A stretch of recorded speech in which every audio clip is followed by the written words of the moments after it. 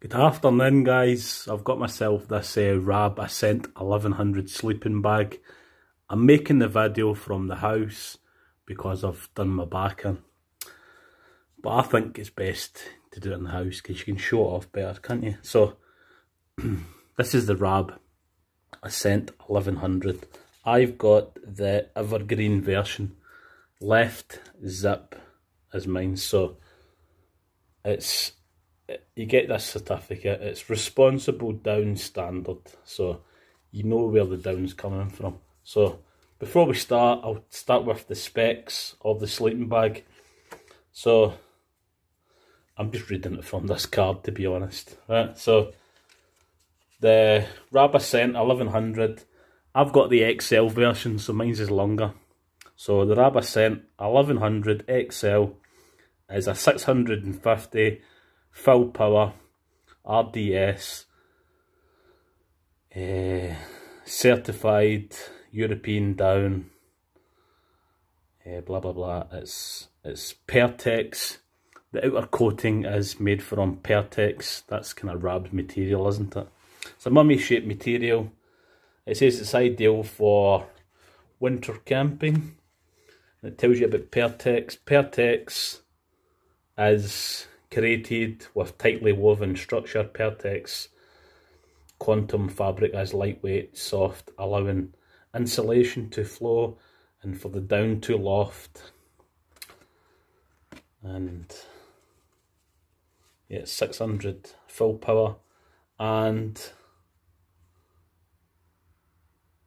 so this one is a duck down. I thought it was actual goose down, but it's duck down. So and Rab's got a warranty. All Rab guarantees have a guarantee that cover the original owner with proof of purchase. The product fails due to workmanship, blah blah blah. So you've got that as well. So let's get into the video and I'll show you the actual Rab sleeping bag. Rab Ascent 1100 XL sleeping bag. So as I've said before, guys, I'm six foot three. I'm going to climb inside the bag, and I'm not exactly the thinnest of people either, am I? So, got a bit of a chunky belly on me, so climb inside.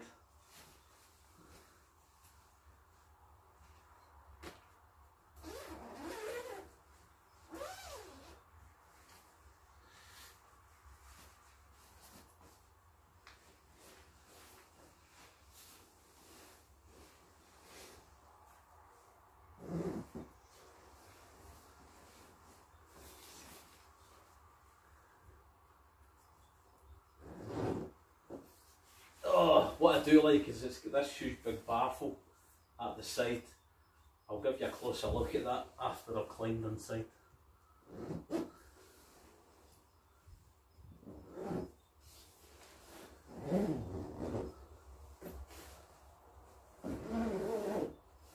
My other sleeping bag I've got, I won't be honest, it's quite tight. Oh yeah.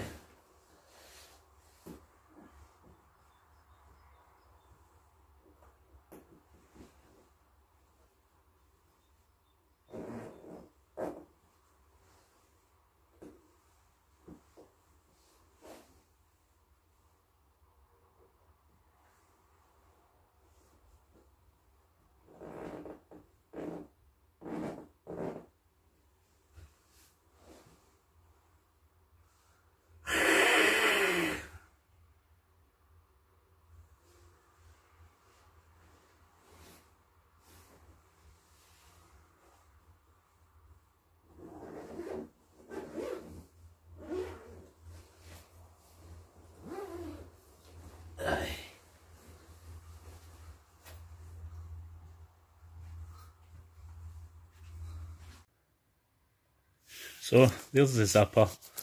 It's got uh, two zippers on it. So as I said about that baffle, look, there's the, the baffle. So when you're zipping the inside, my other sleeping bag doesn't actually have that. Which that does make sense because uh, the wind will come through. See when you've got it zipped up like so. Look, see that it's inside. Sometimes you do feel the wind coming through your sleeping bag, don't you? When it's really winter, even inside your tent. So that's the inside. It's got the baffle for the head, your neck, sorry, your neck baffle, which you can pull tighter with the red cord, cinch cord. And then it's got the one for your uh, your head to pull it in. When it's really winter, you want that pulled right in, don't you? And uh, never, never put your head inside your sleeping bag. You always need to vent the the air, don't you? So this is the XL sleeping bag that I've got. It is 200 centimetres, I think. But I'll give you a look at that in two seconds. But as you can see, it, it's stretching over my mat, isn't it? So...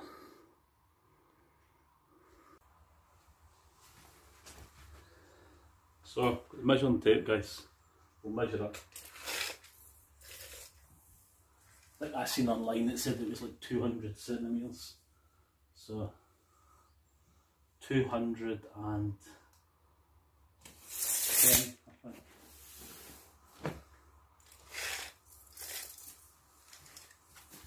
Definitely make sure it's flat. Oh yeah, that's 220, sorry. So 220. It's definitely wider. Let's see how wide.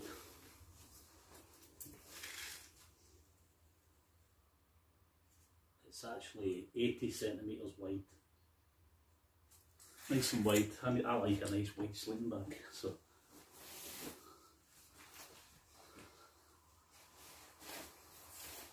This is my other sleeping bag that I normally use.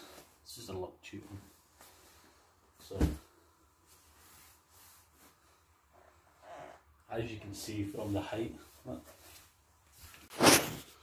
So there we go, as you can see, look the sleeping bag definitely is bigger, longer. Look, I definitely need a longer sleeping bag. But uh, just here, you can see that bag is a bit tight for me. Perfect for my ollie, but for me, it's a little bit tight.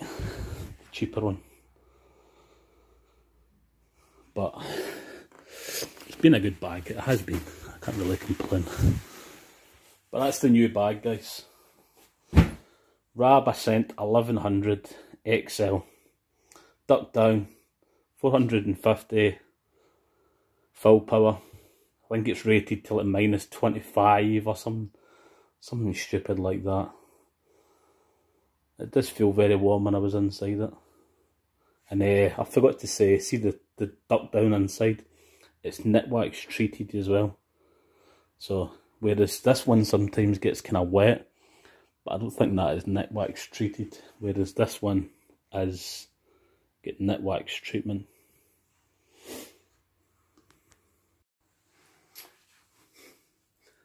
So I do thank you for watching the video. Sorry the uh, sleeping bag was done in the house. I've always kind of found that's the best way to do it. Rather than doing it inside the tent because there's never enough room to actually show the actual product off. So that's my new sleeping bag for 2020 guys. Hopefully that should last me a good couple of years, shouldn't it? My last one lasted me, I think I've had that one two years. Still going strong, nothing wrong with it.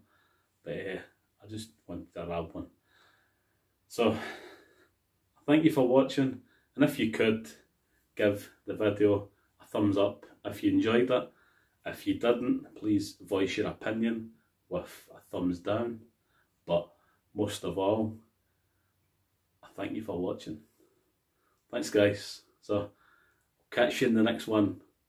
I should be back out camping very soon. So depends when this video goes up. But I've kind of jumped my back when I was out at Loch Trail. I've kind of jumped a little bit. So and Colin's hurt his back as well when he climbed and he fell down that hole. So I'm blabbering here, aren't I? So Thank you. Thanks, guys. Stick a comment. Let me know what you think of the new sleeping bag. If you like it or if you don't. So, thank you.